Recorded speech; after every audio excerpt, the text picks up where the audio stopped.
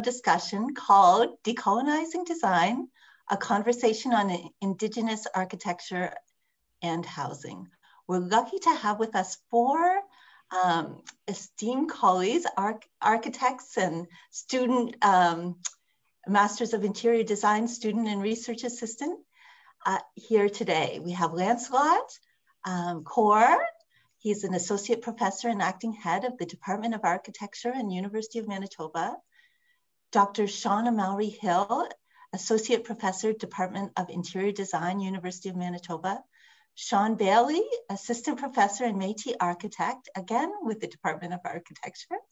And Katrina Salis, Master of Interior Design student with the Department of Interior Design, University of Manitoba. I want to give a land acknowledgement that we're here on Treaty 1 territory, the original lands of the Anishinaabe, Innu, Innu, Dakota, Inuit, and Dene people, and the homeland of the Métis Nation. This is where we're zooming from, but we get our water from uh, Shoal Lake First Nation uh, in Treaty 3, and we get our hydro from Treaty 5 territory. So we're truly connected and we have lots of relationships with different treaty territories. Um, and as such, as treaty people, we, we need to acknowledge damage of the past, present, and commit to working in meaningful partnership with First Nations, Métis, and Inuit people. So now I will stop sharing my screen and I'll let Lancelot go ahead. Hi, Shirley. Uh, thanks very much. I really appreciate it. Um, I'm uh, really honored to be here today with um, uh, my, my colleagues and with you all. Thank you for joining us. Um, today, we're going to be talking about decolonizing design, uh, housing design uh, with, and, with and for First Nations communities. And uh, we three, I guess, groups are going to be presenting some of our experiences working with First Nations communities um, with the subject of uh, design um, and uh, housing as the main uh, central figure. I do want to acknowledge that uh, I come from the Wissahickon Valley in uh, Pennsylvania in the United States, and it's the homeland of the Lenape people, and um, I'm honored to be here in Treaty 1 territory where I currently live and, and teach from. Um, I'm going to share my um, slide here.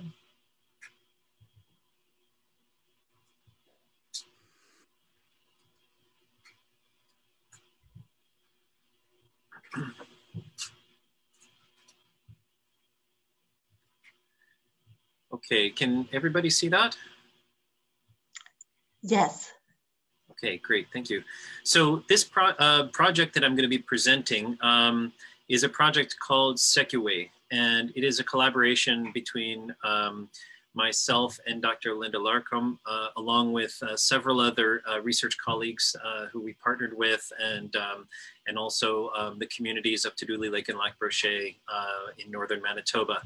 And this project uh, was designed around the research that Dr. Larcombe has carried out for over a decade in these communities, looking at the relationship between housing and health. And my role in it um, was in reference to a design architecture design studio that I uh, teach every year with approximately 13 uh, uh, design students in the undergraduate and master's level uh, course at the University of Manitoba. And uh, what I want to do today is talk a little bit about this project as a demonstration about how uh, we at the University of Manitoba are exploring the questions about design sovereignty um, and working with new ways of working with uh, First Nations communities where um, academic um, um, um facilities are able to empower and uh, support uh, Indigenous sovereignty towards design and housing uh, construction. So this project was based in Tadoule Lake and, and, um, and uh, Lac Brochet, uh, which are two of the northernmost of uh, Indigenous reserves, uh, First Nations reserves in uh, Manitoba. They're quite remote and fly in only.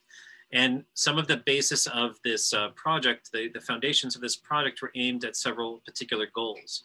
One of them was to determine how housing design can improve physical and mental health of the Dene people uh, living in these two communities. Uh, and we also were interested to determine how housing design can promote traditional knowledge and values in Dene communities. We wanted to learn from traditional approaches to settlement and construction methods and to incorporate this knowledge in towards new designs for the community. We wanted to explore how housing design can encourage cultural activities and identity and to create a meaningful partnership and friendship between our students and our project leaders from the community and ourselves within the university. And finally, fundamental to all of this was of course the idea and the experience of including community members in all phases of the research from the conception of it all the way through until the end. And this is incredibly important because it helps to establish expectations and helps to guide the uh, motivations from everyone involved to make sure that we are all doing pulling together in the in the same direction. Um, the idea of looking at indigenous uh, traditional indigenous architecture is actually incredibly important um, to the thinking in this project because it acknowledges the role of what housing has always meant for indigenous people and thinking about the role that a house or a home would play in supporting life in the everyday.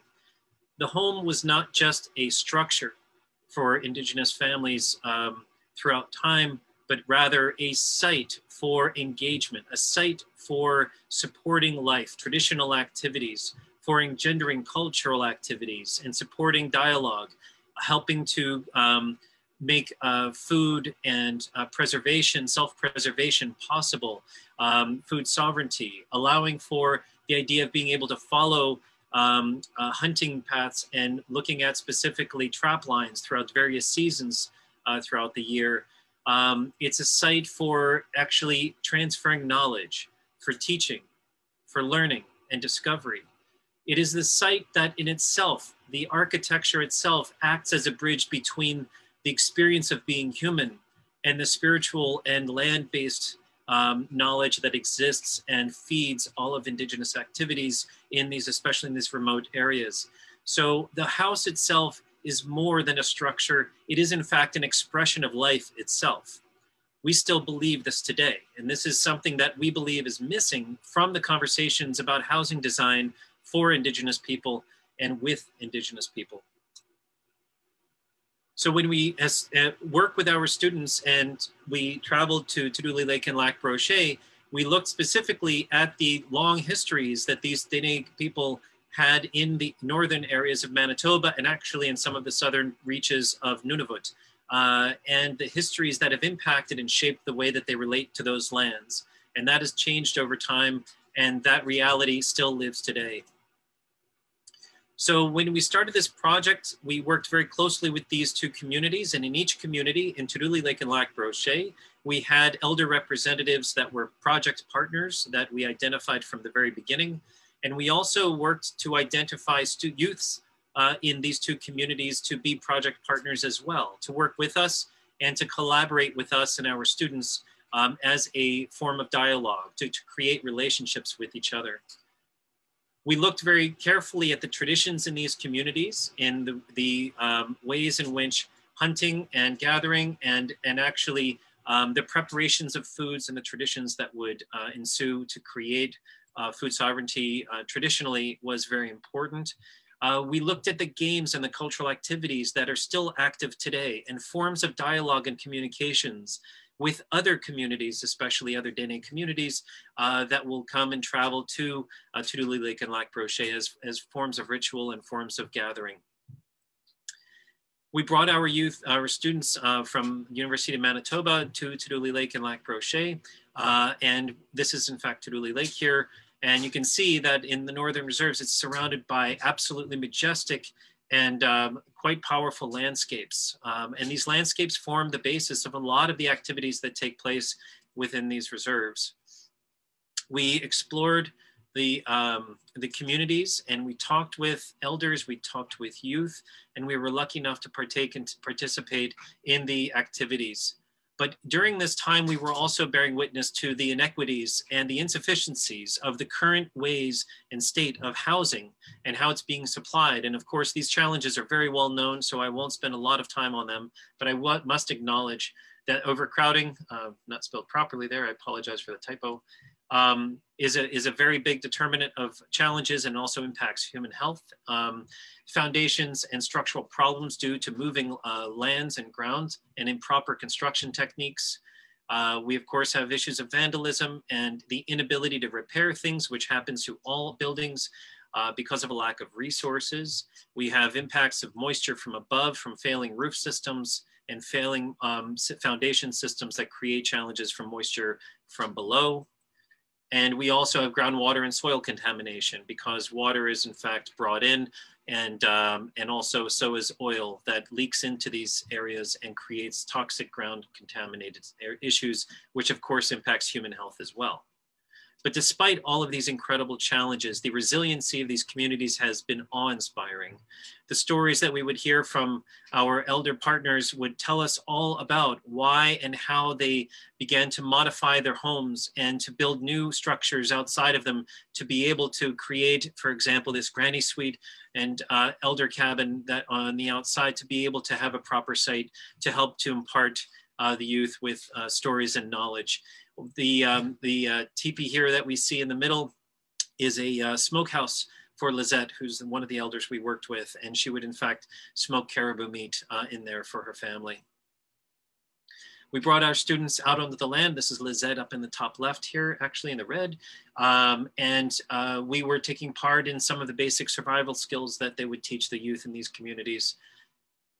And it's incredibly important to take time out on the land to, in fact, take part in the butchering that uh, Lizette was teaching our students on how to do properly, and then taking it out to the smokehouse teepee to, to in fact, uh, dry out and then finally uh, feast on later together. Going out onto the ice, for after only five days of having the first freeze in the area uh, to, in fact, take part in the fishing ritual. That would also be an incredibly important part of the cultural activities and working with the, um, the knowledge keepers in this area to be able to discover the techniques that have been passed down for generation to generation to make fishing possible using these uh, very basic but ingenious approaches and methods. We would also take part in uh, hand games, which is a traditional uh, game that was played in this uh, part of Manitoba, uh, which is a, a, game of strategy, of wit and humor, which are all currencies of dialogue and negotiation between people within a community and of course, communities that come to visit. We would feast together and feasting of course is central to dialogue. It's central to building trust and it's central to understanding. So we worked with the communities, of course, to help prepare uh, the meals that were being offered here. Uh, we can see here the moose meat patties that were being offered and a lot of the stews. Absolutely amazing and incredible um, uh, opportunity for a lot of the uh, students in our program who had never traveled north before. Community consultation was also central to this, to be able to understand and listen to the stories and to uh, hear the realities, uh, the challenges, and of course, the, the beautiful opportunities that exist in these communities and what housing means to them and what was missing from housing to support the life that is actually desired in these communities. So the student exchange, as I mentioned, was central to this dialogue and this consultation the youth from our program can, um, spoke and became friends with the youth from their programs and the elders themselves. There was design charrettes, which is a kind of intensive working period of brainstorming about houses and what they could look like and what they could support in terms of a lifestyle was very important.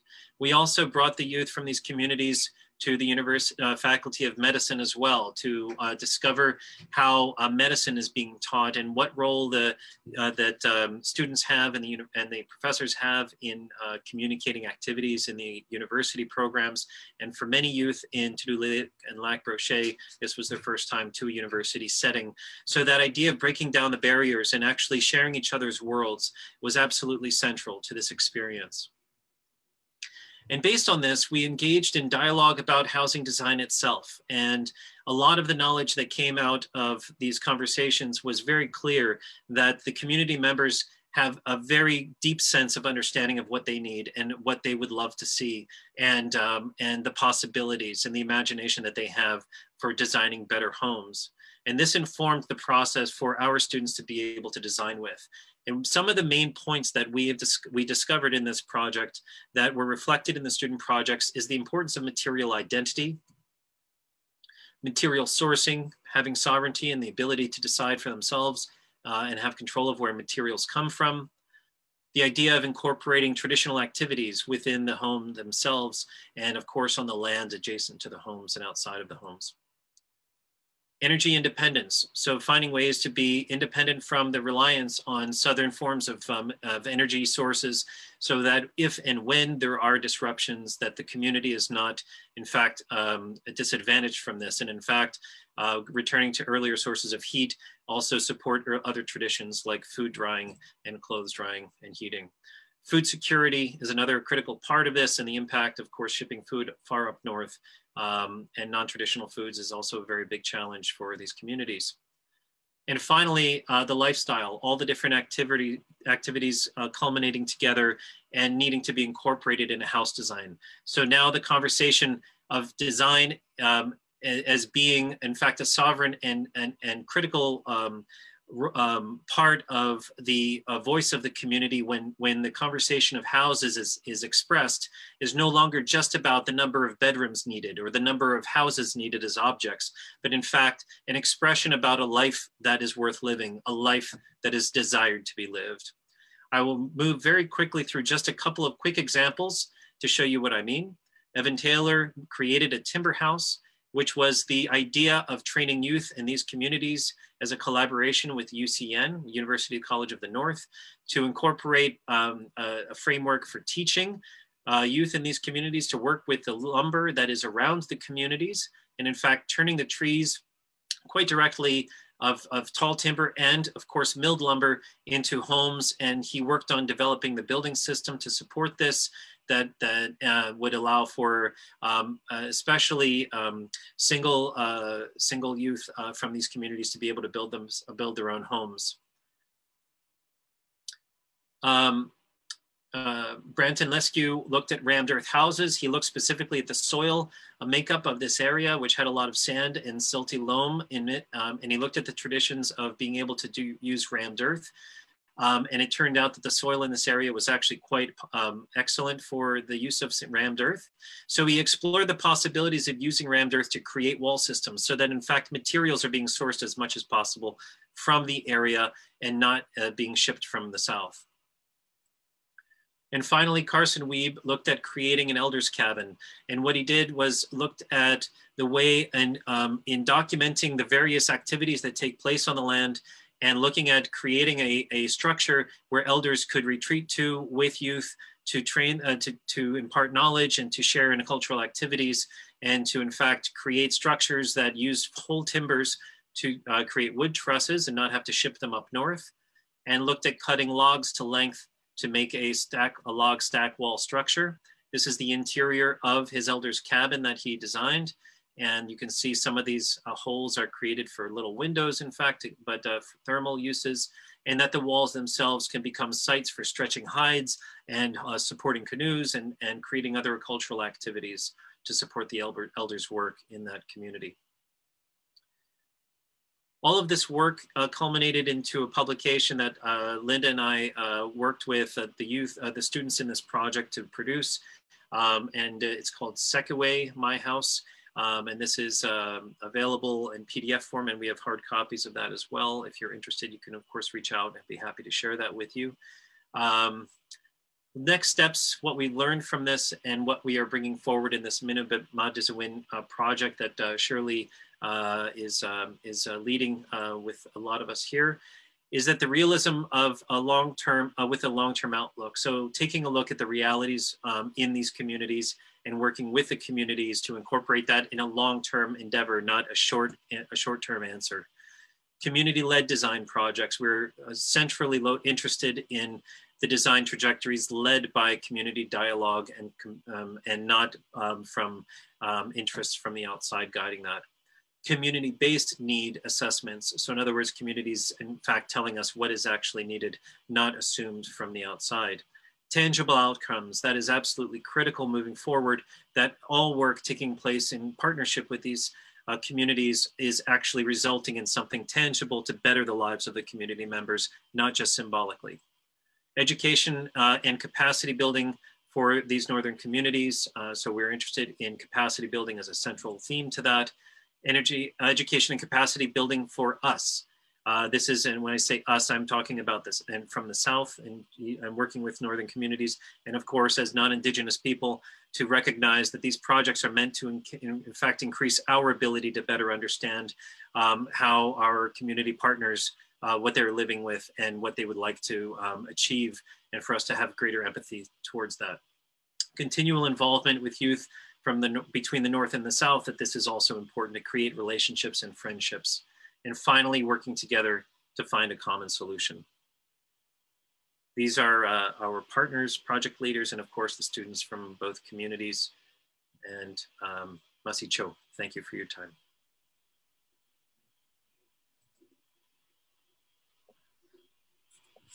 Thank you, Lancelot. So we'll now move uh, to Shauna uh, Mallory Hill. And um, We'll save questions to the end if that's okay with everyone. Thanks. Hi, everybody. Thanks for joining us today. Um, Kat and I are going to talk about our experience working in community academic uh, partnership project that is helping to build uh, capacity towards housing independence in, in uh, remote First Nations. I want to note that we are uh, just two people involved in a large interdisciplinary team that is uh, working on this project that's led by Dr. Shirley Thompson of the uh, Natural Resources Institute. And this is about year three of a multi-year project. So this is kind of a midway report on, on what we've been doing and what we've been learning. The project and the communities we are working with are located in Island Lake. Um, it is home to three First Nation communities. Uh, we are working with Wasagamack and Garden Hill. Uh, the island lake is uh, located in the heart of a vast boreal forest that extends, um, as you know, coast to coast. Island Lake is the sixth largest lake in the province of Manitoba. It's part of the Hayes River uh, drainage basin. Island Lake drains into to, uh, God's Lake and then ultimately uh, into the Hay River and, um, and Hudson's Bay. And First Nations peoples have been living and navigating these waterways for thousands of years. But from the south, uh, these communities are remote. The only way in to reach them is by air and then by boat. Uh, so for a brief period in the winter, there are ice roads, um, but still it's a long drive from Winnipeg, 500 kilometers. Across Canada, First Nation communities are experiencing a housing crisis. Uh, we have housing that needs major repair. There's not enough housing. There's a need for uh, affordable housing. Um, in addition to the housing crisis, there is an unemployment crisis. In Garden Hill, where we're working, uh, the employment rate amongst the youth is close to 84%, which is huge. So uh, visiting these remote First Nation communities for the first time, I saw so, so many systemic challenges. There are too many to talk about in this short time I have, but uh, there were definitely uh, issues around restrictions around material use, and despite living amidst this vast forest, most of the houses in the community were constructed using tools and materials that had to be brought up from the south. There were restrictions around the ways of building that used building designs and technologies from the south that just didn't make sense for the way people actually live in these communities. Uh, for example, uh, the design you need a place for boots and coats. You need a place to prepare and store land-based foods, but the housing grants that are available to these communities do not fund the construction of proper porches or utility rooms. They had technology like uh, heat recovery ventilators that were soon broken. There were no parts to fix them. There was no capacity or understanding in the community on how to repair them. And there's a lack of infrastructure. Um, as uh, mentioned, the North has uh, some silty uh, clay soil and rock conditions that hold the water at the surface. It's making drainage under and around homes a huge issue. There's no municipal stormwater management systems. Uh, folks are living in the midst of a freshwater lake, but many homes lack connection to municipal water systems that have safe water, that have sewer treatment, they're located in the middle of a forest, but many homes rely almost exclusively on, on hydro, which, which can be unreliable. And that's obviously significant when you're relying on hydro for heating. And of course, not enough houses leads to overcrowding, and that leads to more problems, both social and, as we've seen with COVID, uh, health problems. So Minnow I cannot say it properly, sorry, Shirley, um, is a community-led project-based uh, education program. Uh, it seeks to build houses and uh, food sovereignty. The project objectives are to around three kind of major goals about sustainability, connecting to land and land-based practices, um, uh, to energy and resources locally, food independence. Um, it's about design that's affordable, buildable, durable, and culturally appropriate. It's about uh, community needs around economic development, around skills training, about education, about training people uh, that can remain in the community. So how do we get there? The project is focused on project-based education. In, in other words, learning by doing, and it's based on learning by doing in the community. So we're moving from standing tree to standing home. Local participants are given training um, and skills in sustainable forest management, milling lumber, designing homes, constructing homes, and the end goal is to have employable skills that they can use or pass on to others, as in that train a trainer. Uh, part of my role was to look at what was working and what was not in existing housing in these communities. Uh, this wood frame construction in the upper left at Garden Hill um, illustrates some very big challenges with maintenance and uh, with no water supply and unreliable electrical supply. Uh, the second um, is a, in Wasagamack, a standard CMHC type home designed on Southern design codes and standards. Disabled HRV, therefore, um, it has no adequate ventilation system. It has an enclosed crawl space that can lead to moisture problems on these very poorly drained sites. And on the bottom is one of an example of what works. We had the uh, opportunity to visit an owner built log home that was dry and uh, beautifully appointed inside. You can see some image right there on the, on the bottom right. Another of my roles was to help facilitate participatory design sessions in the community that we called uh, community cafes. The community cafes were open to the entire community along with our participants and gave people an opportunity to talk about housing design in their community, what works and what doesn't. During the, during the cafes, we use drawing to facilitate the conversations about, about their existing home designs and to talk about how we can improve and make them better. Um, this is uh, an important part of uh, uh, to talk about. This image is here because I want to talk about the important roles of elders at the community cafe. Uh, we invited elders to open uh, the meetings with prayer and drumming, but we also invited elders to participate in the meetings. And this woman is talking about her experience of pulling back her grandchild's bed only to find the, there was mold covering the floor and the walls. Like a lot of the other older adults here, she had a lot of experience to share and she wasn't keen on, on writing or drawing that down. Uh, she just wanted to tell her story. And she was speaking Oji Cree.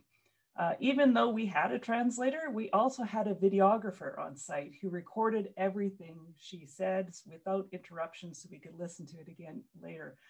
I think the point here is that listening is a really important part of participatory planning.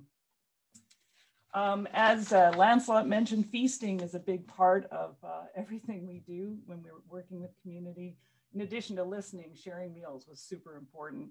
Um, all of our cafe participants were given meals that were locally catered, locally sourced, land-based food, um, and we provided in that way revenue to community members. So I'm going to get Kat to talk about what the outcome of those uh, uh design cafes were all uh, resulted in Hi everyone. So yes, after the community cafes and various conversations with community members, we ended up with a simple but effective design. So together we came up with a home that addressed the needs that support the lifestyles that come along with living in remote northern communities. So this includes um, design features such as an enclosed porch. So not only does it provide a space to prepare and store game as well as equipment, but it also acts as a weather and dirt barrier before entering the home. So entering from the enclosed porch is the utility room where boots and coats can be stored. The laundry and washroom is also located in this utility area so that any additional dirt and mud can be rid of in this space if need be. So the center of the home is open concept, which allows for comfortable gatherings as well as wakes. And the windows and the doors in this open area allow for some cross ventilation to go through the home. The second, um, the second entrance uh, leads out to a porch of its own, uh, which is good for anyone who uh, smokes or wants to sit outside. And lastly, there is a centralized wood burning stove, which is extremely important to include as it ensures that there is an effective heat source that keeps the house warm and dry as energy dependence in Island Lake is extremely unreliable. Next slide. So it also should be noted that the simple design is intentional as it calls for construction, which is perfect to use when teaching students who have not built before how uh, to uh, go forward with home building in their communities. Next slide. Um, so after coming up with the design, we grappled over different foundation types. So screw piles seen on the drawing on the left would be ideal in future applications as it keeps the home lifted and dry. However, for reasons to do with getting materials and certain machines to Island Lake, we ended up having to move forward with an enclosed crawl space instead. However, it is four feet off the ground and we are hoping that this new design uh, will also contribute to that lifted and dry effect. Next slide. so after our, um, so after we decided on a foundation, we had a final consultation with the Mino Bimaadiziwin uh, partnership uh, members, as well as band members from Wasaga and Garden Hill to make sure that um, certain needs were being met. And next slide, after our drawing set was finalized and stamped, we started the building process, which admittedly did not go exactly as planned. So uh, next slide, oh yeah, perfect. So right off the bat, acquiring materials and tools is an ongoing challenge in remote First Nations communities. On top of that, the allocated space for the sawmill and material storage actually burned down with our materials inside, which was an obvious setback to say the least. So in order to replace some of these materials, winter roads were required, which obviously impacted our timeline as it was around the beginning of the summer when our materials had, had burned. However, challenges like these um, are not unusual in, in remote communities like Wasagamack and Garden Hill, thus making these groups of students and home builders extremely creative and resourceful. So without skipping a beat, the students jumped into emptying out a large trailer to store new materials as it slowly began to arrive, as well as cleared off a piece of land so that the sawmill could be used outdoors. From there, students began their lessons on how to operate the sawmill in order to grade local lumber. Additionally, there was a church under construction in Wasagamack that had been abandoned. The students wasted no time in jumping on that site to help complete the church in between working on the home. And although this was not the start that we kind of intended, uh, the students were learning through the experiences that they were having, and that was really the most important part of the whole program to begin with. Um, eventually, the lumber was graded and material started to show up, allowing for construction on the homes to progress. So on this slide, I have a couple images of in-class lessons as well as their on-site applications um, as those teachings kind of progressed throughout the home building process. As for construction updates, COVID, much like everything else, made everything that was already complicated a little bit more difficult. Uh, materials were hard to come by, and instructors that traveled to and from communities no longer can make regular visits. Wasagamack's home uh, that you're looking at right now is framed, boarded, and has shingles, but remains unfinished for now. However, it has in, uh, plans to be finished in future. As for Garden Hill, uh, they have begun to finish the exterior of the home and have installed all doors and windows. So the accomplishments of the students go far beyond the construction and eventual completion of these homes. For example, Garden Hills Band hired six people directly from the program. Three students got jobs in construction elsewhere. Uh, two students from Garden Hill are doing their own independent business using the skills that they learned from the program. And one student from Wasagamack has used his Working in Heights certification to get a job in roofing. So we are still in the process of gathering all the data from Wasagamack and Garden Hill. So some of the students and their endeavors are actually missing from this chart. So really think of it as a bar that's filling. So however, the employment and skills that will be, um, that were learned will be the long lasting uh, changes seen in these communities. So in summary, this project was not simply about designing and building homes. It was about the learning process, certification, team building, and education acquired along the way. Community-led design proved to be an undeniable necessity when creating culturally appropriate homes. Education, certification reinstated power back into the community so that moving forward, develop, developing young professionals can work together to tackle their own housing crisis as they see best fit. Lastly, this collaboration between various people from different backgrounds, professions, and life experiences contribute to reconciliation from person to person. And hopefully, as the time progresses and housing issues in Lake and Island Lakes begin to resolve from within the community, will lead to reconciliation on a larger scale. And in saying that, thank you all for listening, and we will move on to Sean Bailey. Thank you so much. And wonderful to see everything together, including the employment stats there. Can everybody see my screen? Perfect. Well, I just want to say thank you, Shirley, for having me. It's really amazing to be a part of this and to be presenting along with my colleagues too.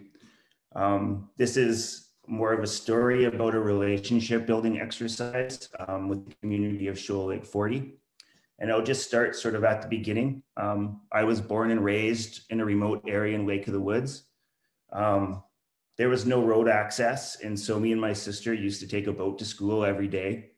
Um, in between seasons, my dad used to make a, a wind jammer, like a rice picking boat, and we had hockey sticks as brakes and it was just really amazing experience that really um, grounded my roots to the land. And that's one thing i always wanted to pass on to my daughter was that experience. And so we're always going out to the land and and engaging with it. And this is my inspiration. This is my partner shannon. Um, she's a uh, administrative in a school board and she has the indigenous portfolio and really her way of thinking about um, relationship building is sort of what inspired me in my work and so she does. Um, and this is my dog marley. Marley also travels around the schools. Yeah marley's a therapy dog um, providing comfort and eating a lot of extra sandwiches. These are some of the initiatives that shannon has instilled at the school and so um, traditional harvesting wild rice um, processing wild rice and also this sort of play-based forest education. So, you know, not really determined on swing sets, but going out into nature and playing and seeing what you can discover. Hiding. And one, one amazing thing that I've noticed with all of this is sort of the being in nature is that one way um, where non-Indigenous, Indigenous can come together. And uh, the non-indigenous students in the school are so excited to learn all these traditional skills. It's quite amazing. So taking that and taking that inspiration from my partner, um, I uh, was accepted a position at the University of Manitoba um, as the Indigenous scholar there, which has been this really rewarding um, experience for me and along this path with working with amazing people. And our first project was we had our design studio do this indigenous housing competition with Architects Without Borders. And at this presentation, a jury member, um, her name was Roxanne Green from Shoal Lake 40 was presenting. And after that, we, I, um, she had this really amazing talk. And so I went up to her after and we had this conversation and our, our studio chose to um, address housing in her community. And so Shoal Lake 40, about you know 150 kilometers east of Kenora, it's where Winnipeg um, gets their water, as Shirley mentioned. And they have uh, forced isolation because of the aqueduct and the canal that runs through it. And they were forced onto the, the poor land in the community, the sort of the undesirable. And so um, they've been fighting for a long time and they finally have Freedom Road. But before, but before Freedom Road, um, this is how they transferred, transported back and forth um, the Amic. And so this was a barge that uh, they would drive on and um, it broke down often. And if you were stranded, you were stranded. And so you would hope that you um, knew someone in the neighboring community to stay at Shoal Lake 39. So this is the Cal Canal that divided them. And as part of this process, Roxanne and I um, were really focused on, okay, like how do we bring the students and how can we do this in, in, a, in a way that fashion together? And so being the first time doing a design studio, we brought the students into the community and talked to the community and they told us stories and stories like, you know, because transportation of garbage is so um, is so difficult here that you know our garbage dump has in the last 30 years has just you know filled up so much because of all the plastic um, talking about the different ceremonies that are that they were forced not to have. And so we made several visits to the community on the barge and the students are just so fascinated with it. They're so um, they just loved listening to the story and the community really loved sharing their story. So that's the picture of the barge and so some of the projects that we we dove into is addressing housing. And so the communities, we meet with all the community members and we had workshops. And these are some designs that kind of came out of those workshops. And so this project was called Hubbard, and it really addressed the idea that the community like to focus on in certain areas of the of their land and kind of hang together.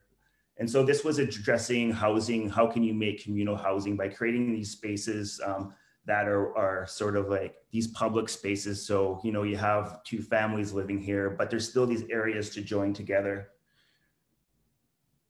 And these are some rock drawings and renderings of the sections and creating these, these areas of play and excitement while connecting to the land. And so all this design is coming from the stories heard by the community. Where this housing project was related to, um, you know, the idea of capacity building, like um, Lancelot said, how do you begin to build using, um, you know, wood from the land? Um, and then as we kept going, um, we knew that Freedom Road was coming. It was in construction. And so in the second term, we sort of looked at, okay, let's provide this as an opportunity for the community to get excited and to you know, create a vision for what their community can become with Shoal Lake 40 and Freedom Road. And so this talked about a, a sort of a multi-unit um, place or a multi uh, program space, has a butcher, a market, a greenhouse, a bistro, and it's all about the idea of processing um, wild rice, processing meat, and sort of using this as a tourist opportunity to bring in people to the community to begin to um, share their story, but also share culture and also revive culture in the community. So these are some renderings of this project. You see the greenhouse over here, um, the butcher, you know, with the garage door to bring in the meat, um, this public market corridor, the market, and sort of the interior shot of the greenhouse. And here are some other renderings of sort of how this building begins to be situated on the land. This student um, heard a story about, you know, their powwow and how they had to hide it and they had no place in the community to have, have a powwow. So the student was talking about, okay, let's, I'm going to propose a powwow with many of the programs that um, are included in the previous project but I'm going to put it by the water so that people can hear the drum and hear that story. And so it was a really moving project, and the, and the community members at the review and the community members would come to every one of our um, interim reviews and talk about the designs. Um, they got quite emotional. And so this project also talked about capacity building, letting the community build their own structures and training it had projects looking, you know, at food security, um, sharing traditional culture. And so those these two projects I last showed has a lot of similarities. But the impactful part of this work is going into the communities and sharing the culture. And so after that powwow grounds, I got an email asking if we would help um, develop a powwow grounds for the community. And of course we said yes. And so the next year the studio did that. And so here the studios are going on site and the elders had this really magical vision of this powwow grounds and they knew where it was going to located and it was on this really nice peninsula right here. Has a beach, they envision the campgrounds, a place for community to gather. And so our first task was that we had to do a tobacco tie. So we did a tobacco tie. Um, we also did a pipe ceremony. And so it's really amazing um, for the students to take part in that, especially when we did the smaller tobacco tie. The elder had us do this tie and we would, I would hold tobacco and then the student would, I would put it in the student holding the tie. And it was, we just created this chain. And what the elder said at the end is that he wanted to watch us and to see how we work together, which is this really amazing thing. But as part of my mission too, it's always to connect people with the land. I think that that's one thing that we all have in common. And especially with climate change, I think we need to build a relationship with that. So allowing the students to come into this land and experience the conditions like this really amazing um, ice just froze over. So when you walk on it, you can see the bottom. Um, a lot of the students have never really been on the land before and it allows the opportunity for the communities to share their culture. Um, you know, harvesting fish through the ice, filleting fish, take part in sweat ceremonies, which is this really amazing um, experience. And so some of the designs for the powwow started with the process of um, model making, drawing, collaboration with the community, um, these are just some preliminary drawings of what this powwow arbor could look like. Um, a physical model of the powwow arbor. Um, this student here, you know, um, sort of developing, sitting on the peninsula, preparing renderings, and sort of this aerial view of what it would look like. So I'm happy to say that um, they submitted these drawings into a funding application and they are now have just been approved and they have retained an architecture firm to develop these ideas. So they will now have a powwow grounds. And the relationships that we build with the community were really excellent. So this was Jacinta and Lauren, which led to the next project, which was a design and build project. And this one was a really powerful project for me. Um, it taught me a lot. Um, the elders, as part of the powwow grounds, always dreamed of a feasting shelter, and the feasting shelter was located um, just adjacent to it. And it was a place for community and youth um, to come and hang together. So it's a design build project in collaboration with Lake 40, Faculty of Architecture, and the Faculty of Engineering. And we're gonna come together and design and build a feasting shelter. Foundation will be prepared by the community and we will prefab all the components at the University of Manitoba and ship them to the community in a shipping crate. So this enabled, you know, this local member to be employed to help, um, you know, prepare the land for the site. Throughout the whole process, we were invited to ceremony, to powwows, and they were so welcoming to the students it was raining out, so we had to move um, the ceremony into the arena.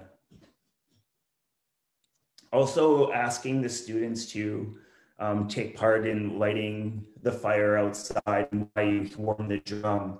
Um, they were really open and allowed us into their community, which was really amazing. But as we're presenting, it's moments like this where you begin to see the power of process in architecture when you see the youth engaged and being excited and really taking an interest in what you're doing and hopefully inspiring a generation to move in that way.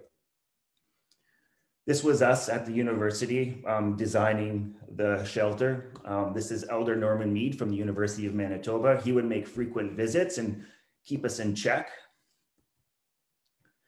And so this is us pre prefabbing the components and this is the site being prepared by the community community received drawings from us and we would collaborate. Um, they're probably cursing our architectural drawings. And here's the everything packed up, ready to be shipped over. And here's the uh, slab preparation. So it was this really amazing thing where engaged community provided employment, um, communication. And so this was part of a funding grant. And then it's pictures like this that really mean a lot. So when we arrived on site, um, we, we stayed in the community for one week to build this. Um, the community members stayed on one side and the students were on the other side of the building site. But the power of I saw was that architectural processes have the ability to build relationships because as soon as we started making things, that's when relationships were formed. And that's where the power of the project came sharing ideas, sharing their skills, um, telling stories, swimming at night. The community members would stay with us after and uh, we would fish. This gentleman took us fishing. Um, he was so proud and so happy to take us fishing. That picture is 10 o'clock in the morning and he's bringing us his famous Cajun walleye for all of us to try. Fires at night alongside the structure gathering in a circle and it's it's pictures like this that really make it meaningful for me and that's you know emotional. A relationship was built reconciliation happened. There was an understanding and because of design and because of architecture and because of being creative together we were able to form really meaningful and long lasting relationships. And this is the structure as it stands now and uh, we happy to say we will be doing um, a community garden for this community um, with youth. Um, they have a new school being built and uh, this garden will speak of food sovereignty and will be built adjacent to the school. So it'll be a teaching platform for the youth. And that's it. Thank you.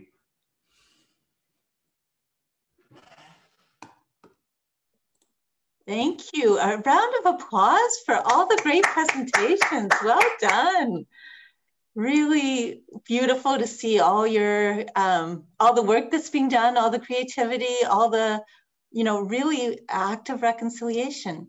So now it's question period. Um, is there anyone who has their hands ra raised to um, why don't we start with demos or penos? Do you want to ask a question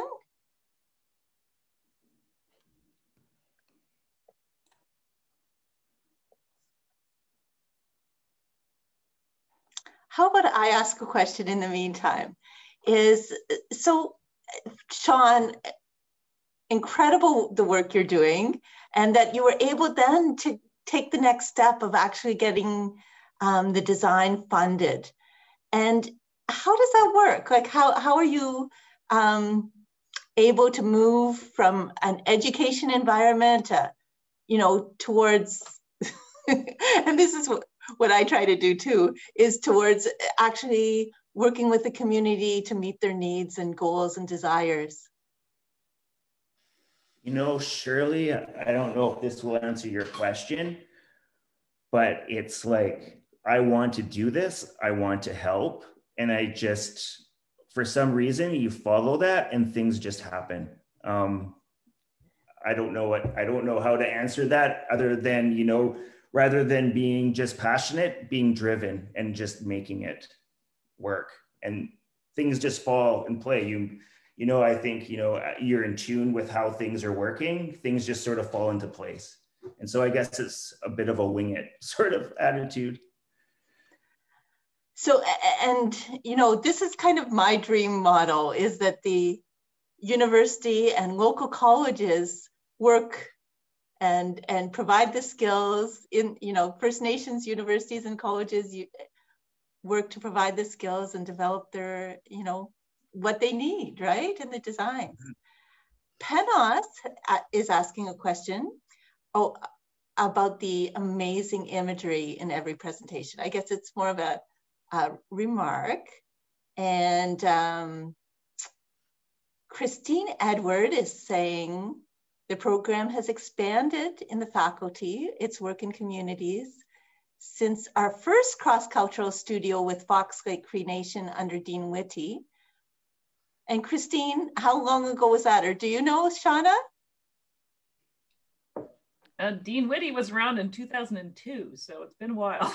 Okay, great. Um, and Uriel has a question, how easy or difficult was it to translate input from the community, for, inst for instance, from the elders into design um, during the community process?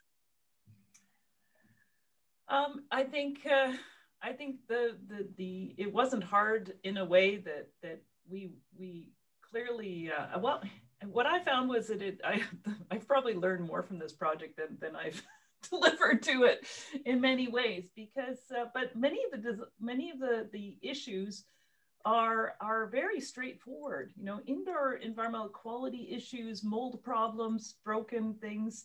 Uh, we know how to build houses. We know how to uh, to ventilate them properly. But um, I think what has been a massive misfit is just in a lack of consideration and in, in fitting what the community is able to do with uh, with what we are providing from the south. And uh, certainly um, this misfit has been the issue. Um, you know when you can you can immediately see why these things are happening. And i think what i brought up or tried to to imbue in the beginning of my presentation was that there's some frustrating systemic problems that are that you are constantly battling about uh, that that have nothing to do with designing houses. They have to do with uh, um, administrative and uh, uh, code restrictions and other kinds of barriers that get in the way, in addition to the distance that's between us and uh, and these communities. So.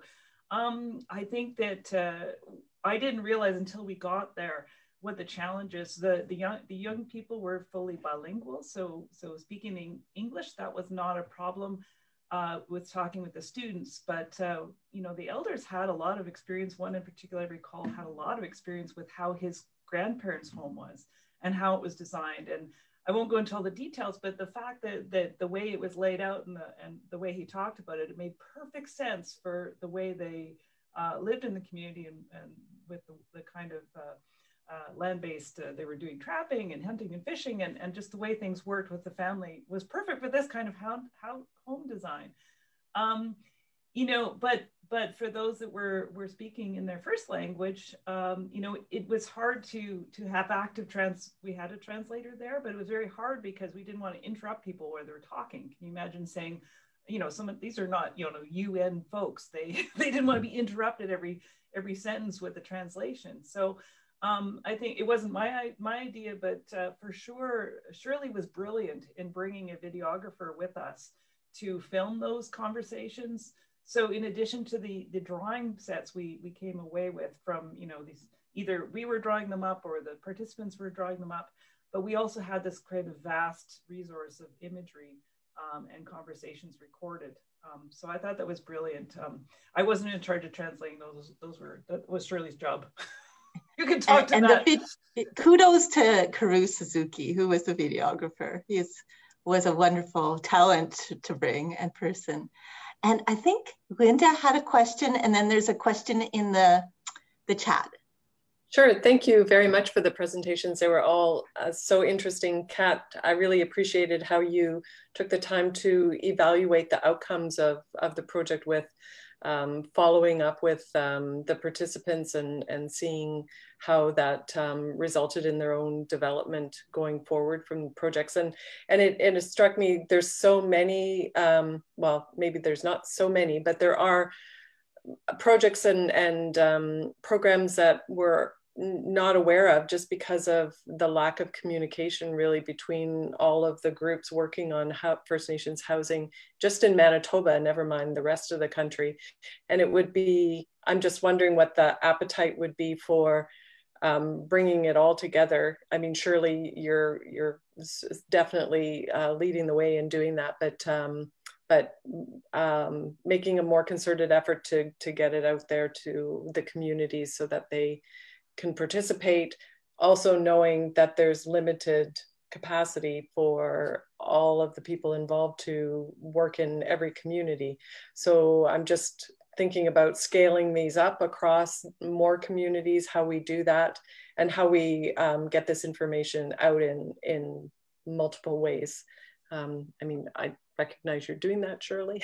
but, uh, well, I actually have to give full tribute to Alex Wilson from One House Many Nations. And all of the work here, like Sean, Shauna Mallory Hill, Lancelot, yourself, Linda, Kat, um, and so many of my students. But Alex Wilson from One House Many Nations um, has been the leader on this, and she's working with so many communities. And you know, she, she's absolutely an inspiration of how how to do things working with community and work with people. She actually has a question she's watching uh, from live stream, and she has a question uh, uh, for people.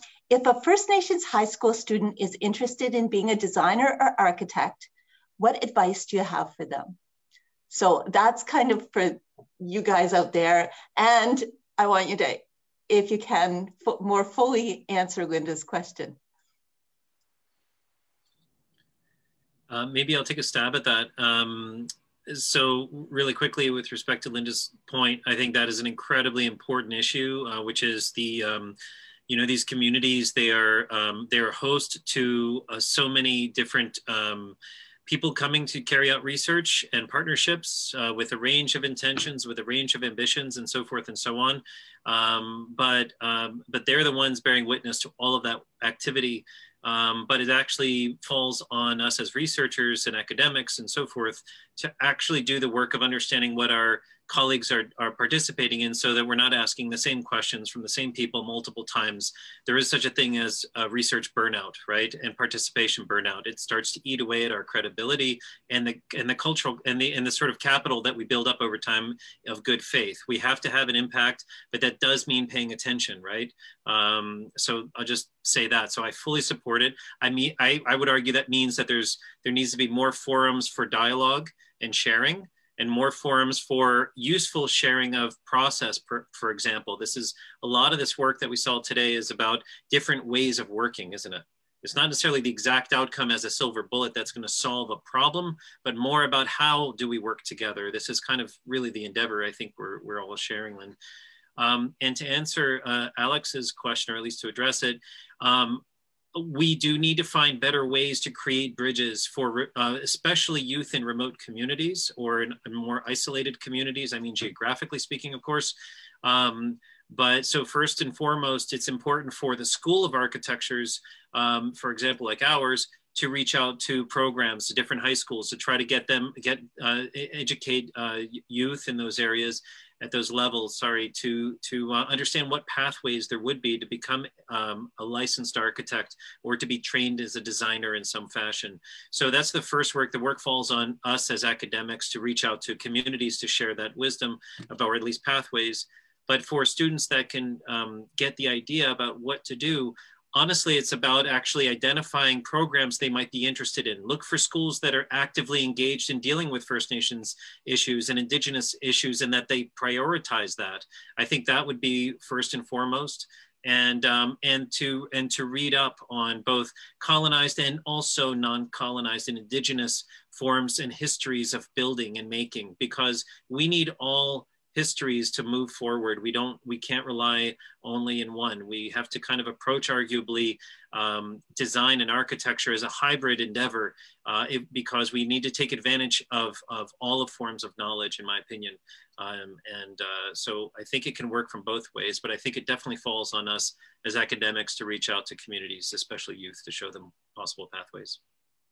It's so important. And even as part of um, our Boreal Home Builders, our Mino Bimaadiziwin program, uh, bringing the students to the university, one ended up applying, getting in, and she, she she's following an interior design path. So, you know, it does create a pathway that's so important.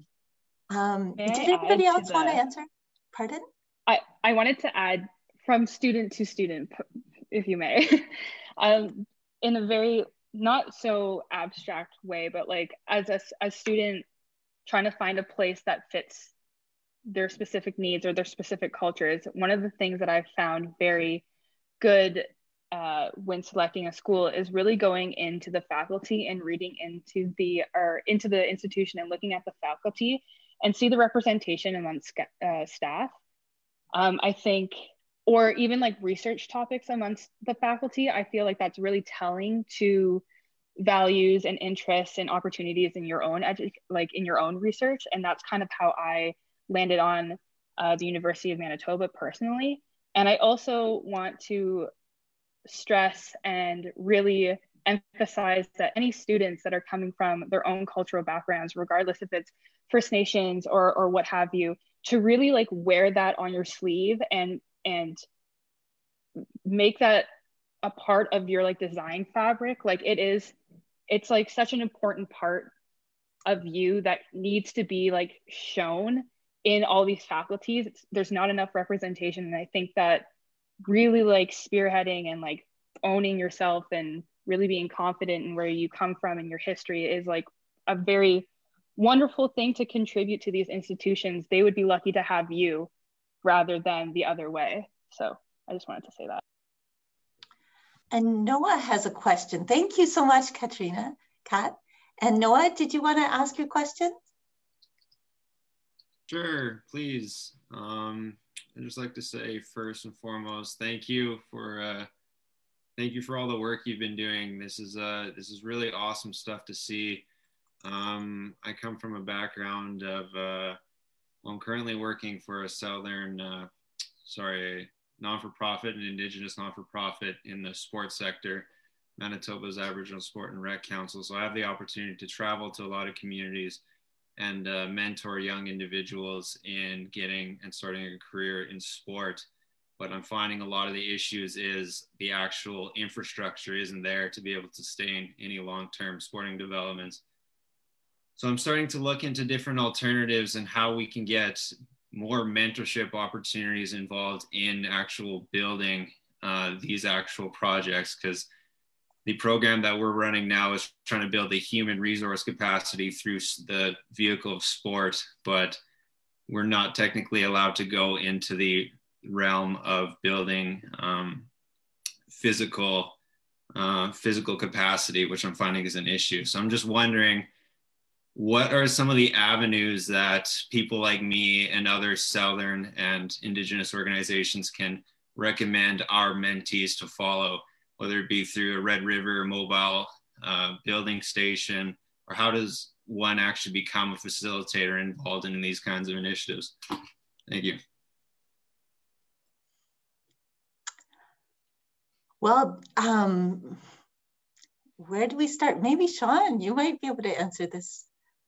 I, I know we've really tried to work with Red River. Um, it's very expensive to get their mobile, but in maybe the interlake, that would work. Uh, they wouldn't, they didn't want to take it up over winter roads because it would stay there um, for too long and it's very expensive. You need a security guard on it all the time.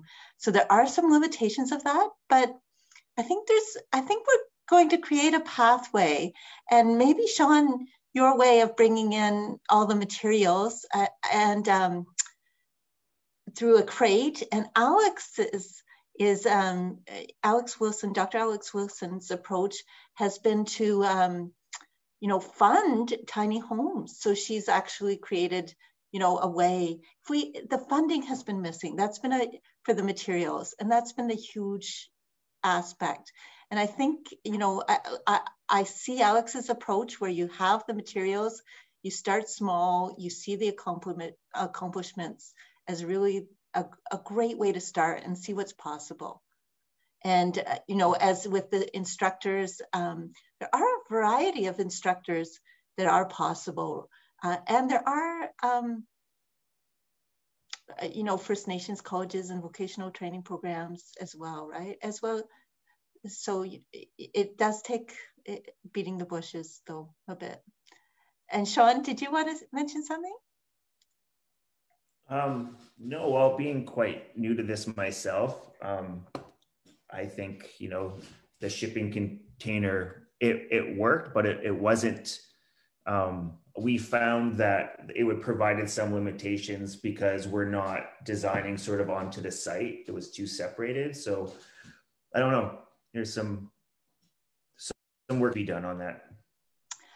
Yeah, and we having the sawmill really worked. Like all the local lumber was applied in Garden Hill, um, and Wasagamack we had some of the lumber. Like there are more policy problems with that, the colonial problems really, um, that create barriers. And um, so, you know, we're trying to, each, each of these steps move us forward, right? And we're going to run into barriers, but realizing we just have to, you know, resolve that or, and find a pathway through and keep trying. Like housing, eh, housing is too important. you know, uh, homes are too important for to stop, right? And, and same with, you know, the opportunity for sports, sports and the opportunities for youth. You know, we've got to find ways. This can't continue as it is. It's unacceptable that of overcrowding. It's unacceptable. Um, the health risks from COVID, from many other things, the result of, of bad housing. So uh, let's all work on this, please. And um, say Panos, sure. go ahead. All right, I just want to say uh, it's a really good question, Noah, and, and I think what you're referring, what what your question points to is the fact that um, so much of our um, energy collectively speaking, is focused towards just basic fundamentals, which is having a home that's healthy. That's it. That's just like all of this conversation and so much of the federal government's money that is going towards this challenge um, is, is trying to solve a basic human right. It's not even dealing with the fuller life that we should be talking about, right? Which does include other activities, which talks about ways that communities can thrive and grow and become prosperous, not just survive. And I feel like that your question points to the infrastructure necessary that can start to facilitate that. Um, so I, I just I just want to acknowledge that you're raising a point, which is that we need to evolve past the problems of just survival. Um, and if we can do that parallel to talking about homes, and that's kind of what I think I was at least trying to lead to, is that the question about designing of homes has to, in fact, incorporate a fuller sense of what living is about to make them meaningful and not just be about staying alive, frankly. We have a question from Panos who's going to unmute. Hello, everybody. I, uh, excellent presentation. I, I commend your work and I love the imagery. Um, I had a question uh, um, I had written here. Um, it's written, uh, was indoor air quality an issue which was considered with regards to the home designs? And uh, I had also commented uh, wood stoves uh, can potentially lead to unsafe particulate matter, PM 2.5 concentrations, and uh, were cleaning, clean burning or pellet wood stoves uh, considered in the designs? Yeah, I was, I, uh, Panos and I, or I tried to answer Panos's question in the chat because I wasn't sure we'd have enough time, but um, for sure. And I think Panos, you picked up on the door swing issue as well earlier in your chat. So um, we did a, a, thorough design review. Uh, the all the plans that the, the, uh, in, the, that actually were constructed off of were were engineers stamped. So the door swing issue was picked up then, and so um, I what what Kat and I showed you was kind of an early design iteration. So it's not the final design drawings. Um, and also the the pellet stove absolutely came up, and that is um, we're, we're hoping to leverage the idea of the industrial waste coming off the sawmill to develop pellet technology to feed in, you know, so have the circular economy where the pellets from the sawmill could be used in the in the uh, the clean burning wood stove. So uh, those are really good points, Panos, and that's that's exactly like it's it's a there's a million pieces to this, and even in building that simple square structure. um, but for sure, in the first iteration, the, the wood stove is not the primary source of energy for the home. It's meant to be as a backup. It, there is still uh, baseboard heating. I think we had looked at radiant heating systems in the building, but I think at the end it was just simpler because everybody was more familiar with how to install a baseboard. um, that that's what went in. So buildability, keeping things simple. You know, uh, it's it's surprising. You know how how you know as I mentioned with the whole HRV thing, you know, that we build in the South, we, we airtight something down to make it energy efficient. And then we have to put an HRV in, not realizing that when you do something like that in the North and the HRV breaks down, well, the nearest spare part is in Thompson or, you know, and the nearest guy that can fix it is in Tadoule Lake or well, Churchill, you know, then, you know, it's not a simple thing. So, um, you know, maybe the pellet technology that who cares? There's there's there's uh, water ground source. There's uh, there's a number of different strategies you can make to to sustainably heat and, and condition these homes that's not overly reliant on these unreliable systems. So for sure, our concern was that the energy uh, from hydro goes out and it's minus 30 up there, you know, so you've got children, you've got families, you know, you've really got to have a way to, to make heat. and that was, that was something we really wanted to make possible because at the time, it surely, I know it's recorded, but it bothered me no end. Uh, the time that the hydro was put into the community, they forced the reserve to agree to take out all the wood stoves from the homes. Everybody had to remove their wood stoves from their homes in order for hydro to actually bring power to the community. Now that is systemic racism in play. so, you know, wow. this is the kind of thing you, you know, you have to combat along the way. And I think you need the, the these acts of process um, as Lancelot and Sean are talking about, you know, this is part of the reconciliation. We are blind to a lot of what's going on. And even the simple thing, what's why, why can't we build homes in these places? How hard can it be? it's, it's extraordinary the things you come out from simple things like the wood stove, uh, you know, all the way up. Thanks. Anybody else want to uh, answer that? If not, Katrina's going to unmute and ask a question. Hi there. Um, great presentations by everyone. It was uh, really inspiring. I um, work at an engineering consulting firm and I'm a former ENGAP student. Um, I found this really fascinating. Um, I was curious what the relationship with this this whole organization and the work that you guys have done has been with the engineering, either the faculty or the community. Um, I just find this work really interesting, um, and I I kind of just haphazardly came across it, and I, I noticed on one of your calls that Randy Herrmann was on there. Um, so I reached out to him yesterday, but I didn't haven't heard back yet um, to know more. But I was just curious what the relationship was. Um, I um, I graduated four years ago, and I'm thinking how nice it would have been if we had a um, at the end of our degree we do a like a they call it a capstone. It's not called capstone anymore, but a a final project and how interesting it would have been to instead of being um, only civil engineering students, but to be a multidisciplinary team across the departments and uh, be able to carry out a project like this. Um, I know how challenging and it's not as simple to just add a course to the engineering curriculum. So I know it's not um, an easy answer, but I'm just curious if any uh, work has been done in that area.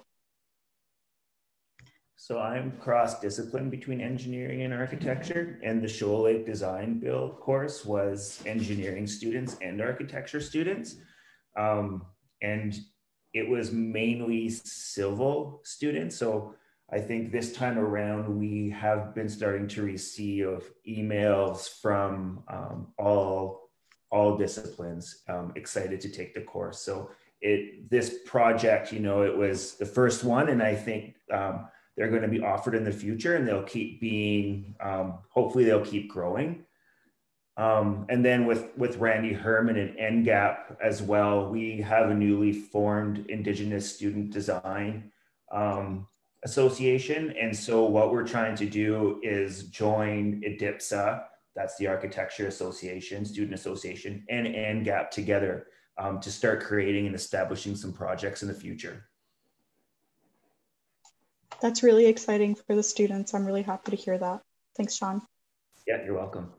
And I think we'll, there's one final question and then we'll bring this to close. Um, Chima asked a question a while ago and I'm not sure you can unmute, so I'll ask it. What possible architectural modifications are best suited for housing designs in Island Lake, considering climate change issue? Um, so do you, do you see how we're designing for the future and, and for the changes?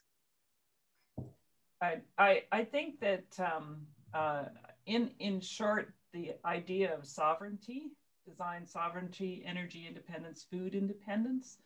Um, I wish all of you could have seen Shirley's uh, Barn in the Box that inspired me to become part of her design team. But um, it's all tied up in together because part of uh, you know folks have been living on the land north uh, uh, um, for many years quite quite well so um, i think we have to think about northern building codes being different than southern building codes and uh, approaches um, to be a, a different than we use here. Um, so as Kat mentioned, there's a certain resourcefulness that has to happen. Um, you know, but uh, I, I, think we have to look for approaches that are not what we, you know, you can't do high performance building in the north. You can't have complicated systems that have to be maintained and operated. So, um, you know, it, it's a longer answer than we have for in the last minutes of this webinar. But I think, I think the, again, reiterating everything everybody else has said, it's a process. We have to work with communities, see what resources are there, um, I can't, as an outsider, go and say you need this, um, because actually just just going up there, you begin to see what's available and what's present. I mean, there's water, there are trees, um, we have extreme climate, um, but we have lots of opportunities, and there's lots of really wonderful people um, that are just ready and willing to participate in these projects, and um, uh, there's no lack of enthusiasm. So that's that's the wonderful thing, and uh, it's just to just to walk alongside with the communities and help them achieve what they're trying to do.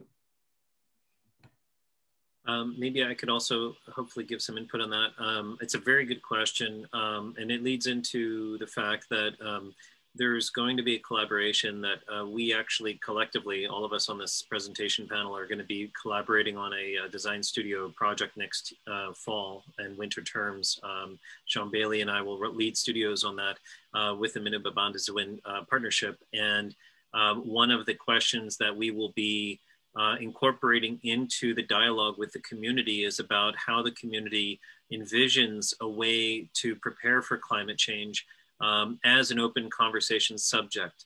So climate change is a sort of another example about how it's a um, it can be approached from a technical or or um, or, or sort of scientific or Western scientific way, um, or it actually can be dealt with in a local community-based way. Um, and that involves everything from the technical challenges and, and, and basic ones that like uh, was being suggested about the idea of water levels changing and, you know, but that, but that's not the extent of it alone, right? So it talks about longer dry days. So actually that there's going to be perhaps a drying out of the vegetation. It's going to impact migration of, of animals. That's going to affect food sovereignty issues. It's going to affect air quality because there'll be more forest fires. There's going to affect so many things that will affect the way the community interprets what the impact of climate change will be. And that's why conversation and dialogue is so critical because it is not that there is an answer to any of this is only a response and that response is only meaningful if it comes from the community because the community is the one that lives with whatever is made as a solution or response to that uh, so climate change i think is a very good starting point to to as an example about how dialogue will elicit a meaningful response to that question. And it's a really good question. And all of our global communities need to be confronting that basic question, of course, especially our, our remote and indigenous communities.